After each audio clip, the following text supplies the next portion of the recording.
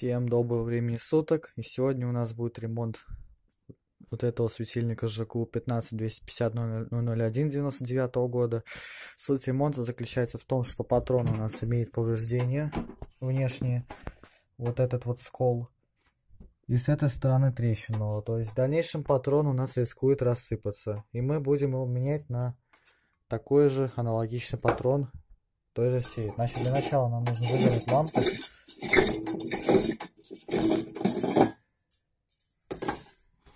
Вот сам патрончик, который мы будем менять. Там и грязи тоже, конечно, полно и все прочего. У этих светинков, кстати, плафон довольно легко снимается. То есть он оставлен в такую рамку, и стекло снято. Вот у нас потом прикручен к этому стакану светильник категории B с широкой осевой КСС. Значит, нам нужно открутить эти два болта, отсоединить патрон, собственно, поставить до новый патрон, подсоединить, и все будет нормально.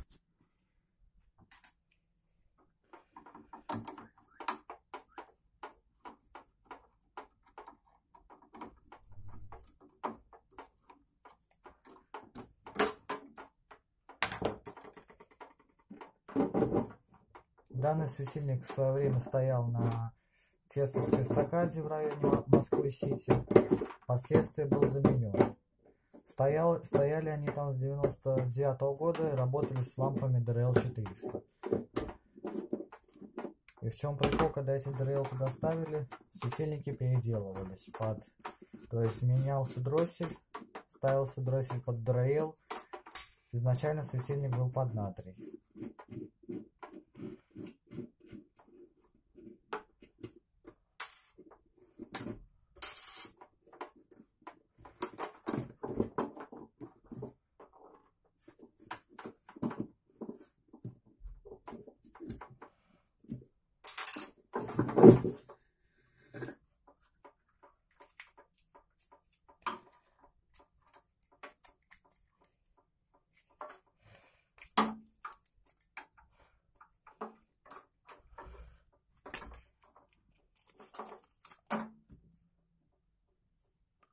Знаешь, вот такой у нас подвод проводов.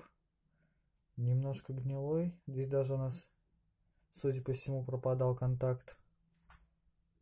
Потому что здесь видно, что контакт был плохой.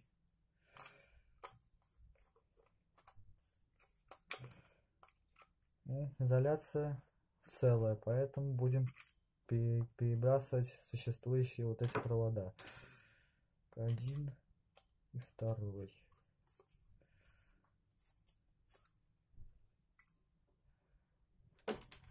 Так, также нам понадобятся вот эти два болта. Потому что те болты, они у нас короткие.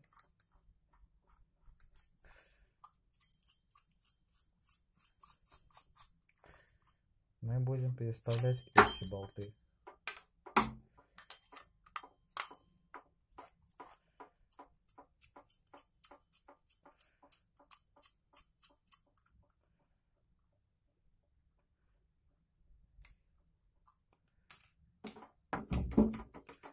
Вот у нас вот этот вот скол в патроне. А вот трещина с обратной стороны.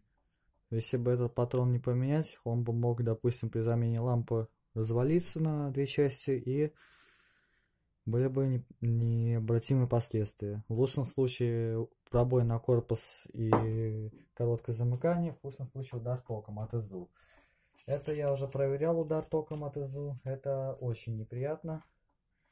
Прям вообще капец как неприятно. Поэтому лучше это не испытывать.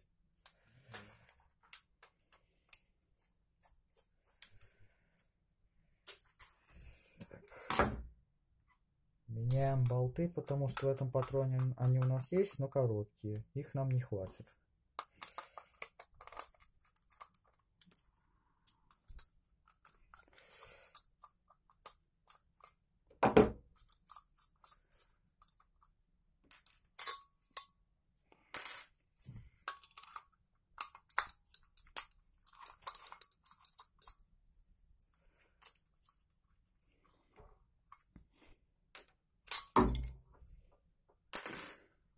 Значит, теперь нам осталось сюда завести вот эти наши провода. Значит, у нас вот этот контактный центральный идет. Значит, подключаем провод без черной маркировки. Черная маркировка здесь у нас означается как 0. То есть это у нас он у нас должен выходить с резьбы.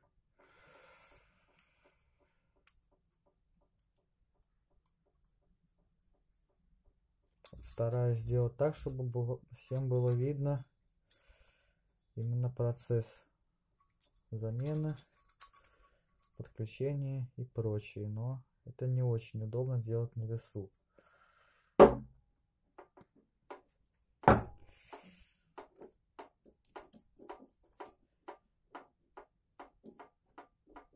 Так.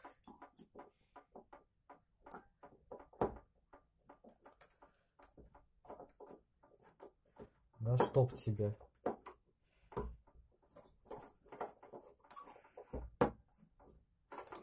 Вот мы один, значит у нас такое вот кольцо, мы его продеваем под эту пластину через болт и после чего затягивается у нас этот болт с пластиной. Так мы его надеваем. Вот. И прикручиваем уже сюда.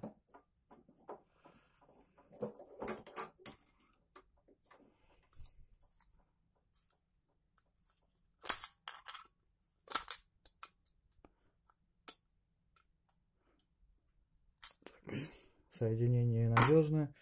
Так, ставим уже обратно болты, те, которые стояли в предыдущем ламподержателе. Так, уронил один болтик, но это не страшно, мы его сейчас поднимем.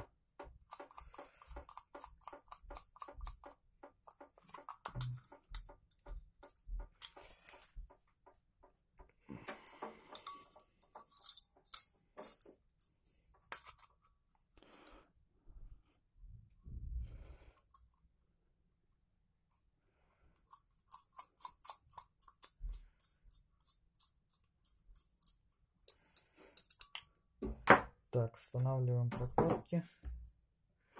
Значит, у нас есть эти прокладки, еще эти прокладки нужны для того, чтобы, если, допустим, светильник какой-нибудь для проверки ламп, то есть куда постоянно лампа включивается, выкручивается, чтобы у нас потом в дальнейшем не лифтил, потому что эта керамика, она у нас не может сжиматься, допустим, сжиматься болтами, как пластик или что-то еще, то есть должным образом фиксироваться. И в итоге, в итоге у нас оно все будет лифтить. Поэтому кладем прокладки. Кстати, вот это вырезано из э, рекламного полотна. Так, и все, осталось, собственно, прикрепить обратно данный патрон.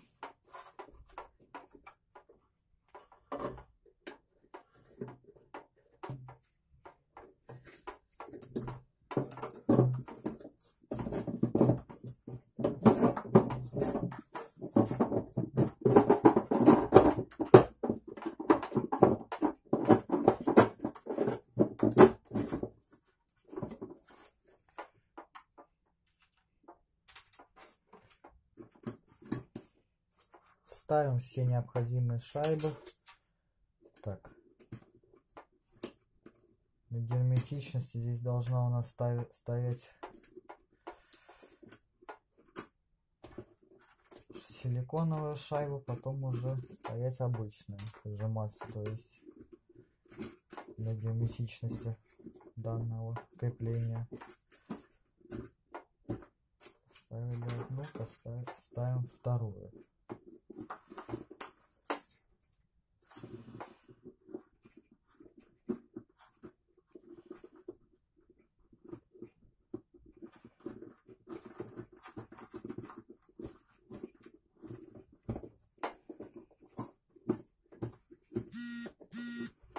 Осталось нам теперь все это дело завинтить. Вот затягиваем гайки, потому что я там поставил фиксирующие гайки, как, они, как оно было изначально, для дальнейшего удобства монтажа и фиксации патрона.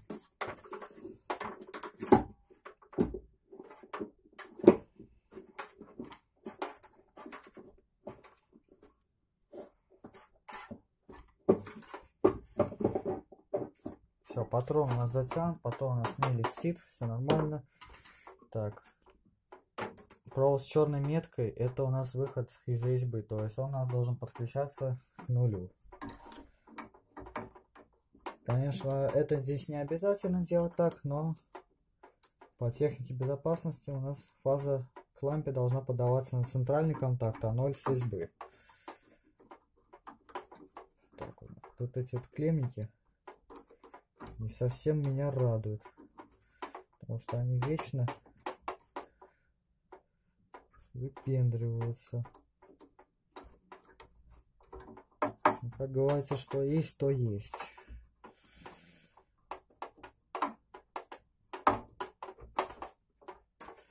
Так, а вот это уже на центральный контакт, вот этот провод. Здесь у нас выход из ИЗУ идет у нас на него. ИЗУ у нас трехвыводное стоит. С двухвыводным ИЗУ, конечно, все куда проще, но двухвыводной ИЗУ и современный дроссель это две несовместимые вещи. Так мы уже все знаем. Значит, вот у нас новый патрон. Все ровненько, все красиво. Винчиваем лампочку.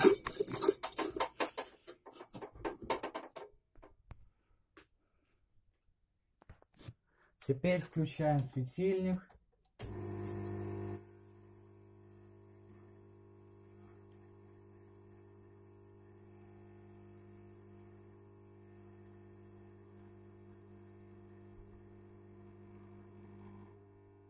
Нас лампочка старая, поэтому она себя так везет. В принципе, все работает. Устанавливаем обратно наш плафон.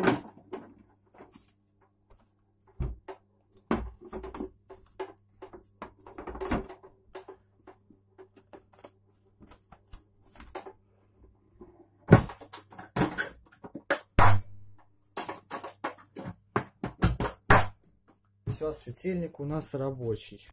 Вот у нас он, грубо говоря, вышел в работу. Лампочка, правда, 250 ватт на дросселе 150 ватт сидит, но это не страшно. Главное, что у нас светильник рабочий.